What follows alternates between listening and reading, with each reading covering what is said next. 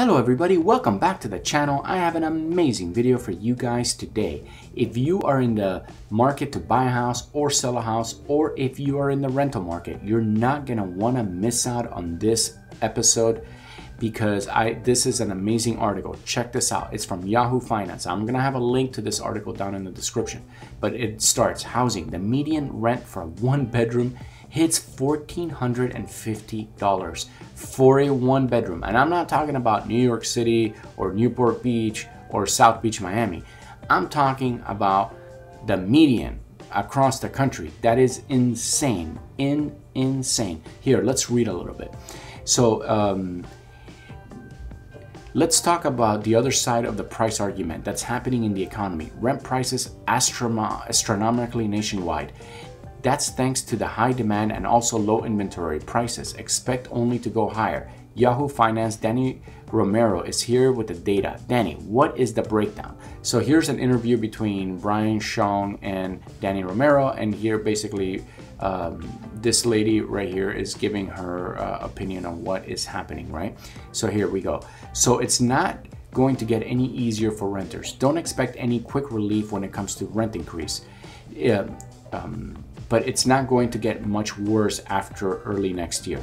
That's according to the UBS economist, but it is going to slow down, but it is also going to stay elevated through 2024. So it's going to slow down, but it's going to stay high. What does this mean to people, you know, basically who own a second property? This is great, right?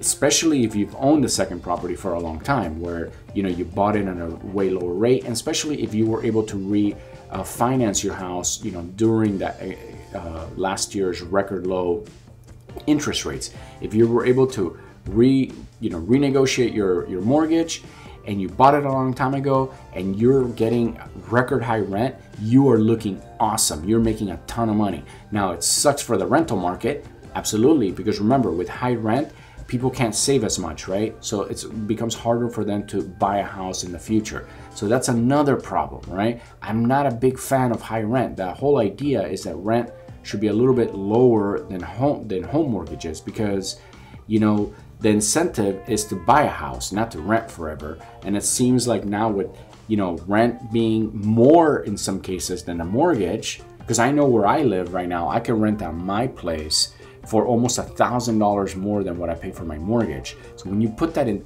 put that into perspective, I mean that's kind of crazy. So if someone if I was to rent my house, whoever's moving in here is it's just going to be make it so hard for them to be able to to rent uh, to to save enough for a down payment. You know, I'm very lucky to have been able to buy a house, and uh, it is very important. You know, it, this is this is how you build family wealth. This is how you build uh, generational wealth, right?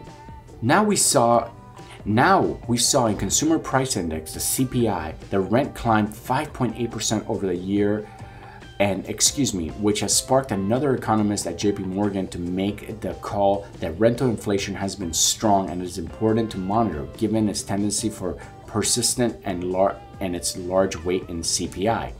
Now, remember, shelter is 32% of overall CPI. With uh, that being said, the shelter components of CPI inflation is derived from housing costs on rents, not uh, prices on homes. So, as the Fed hike up rates to really dampen down inflation, that causes mortgage rates to jump, which has made homes less affordable. Uh, affordable for people. So, with the cost of goods being so high, many are really saying, you know, I'm no longer going to be buying a home right now, I'm going to jump into the rental market. And data from Redfin actually showed that about 60,000 home purchases agreements were canceled. That's the biggest contract dump since the pandemic. That's insane. So there's going to be a lot of competition in the rental market. But again, New York topped its list with the most expensive market that they're up 41% over the past year. There's also really high demand in cities like Tennessee and North Carolina. So guys, so if we jump, let's look at that right here. It says we um, data shows 60,000 home purchases agreements were canceled. Let's jump into the housing data right real quick. If you jump into houses sold, you could see that the year to year is dropping fairly rapidly. Right now, we are somewhat in line with 2019, right? It, in inventory, it's a little bit lower, but in general, it is somewhat in line. If you look at pending sales, there it's a little bit there is a little bit of a disparity. I would expect pending sales to drop and then this black line to definitely hit you know come closer to this blue line which is 2019 and often two markets as you could see the percentages are coming down right? It's becoming harder and harder to buy a house. If you look at that median house price sale it's coming down. As you can see this is the actual sale right? Now listing it's still trying to, you know, people are still trying to get that high dollar for their house. So they're listing it higher. But at the end of the day, people are, you know, the ones that are selling are going down in price. So this is a great thing. Look at that slide down. This is from year uh, over year. So things are changing. Okay, things are changing, and the rental market is definitely changing. It's it's kind of scary to think, you know, that rent could be so expensive because, you know, at the end of the day, like when this happens, guys, this is this is uh, this really destroys the economy in some ways. You know, it's good for some people, you know, but here's the problem: like, there's a lot of corporations jumping into the real estate market. There's a lot of uh, apartment complexes owned by corporations, and that to me doesn't necessarily help you and me, the little guys. The little guys are best when they could own their own house, their own apartment, their own condo when you're renting and especially renting for corporations it just makes it very difficult to you know get ahead in life when you're paying astronomical rent prices. So it, it's it's we're there guys. We are in a situation that it's a little bit to me it's looking unsustainable.